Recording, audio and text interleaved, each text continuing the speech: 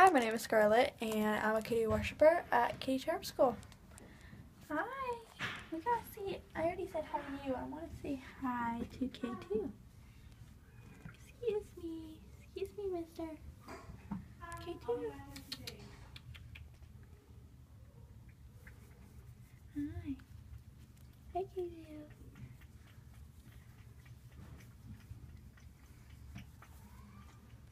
Also, I'm guessing, sorry if I get this wrong, Jake is here.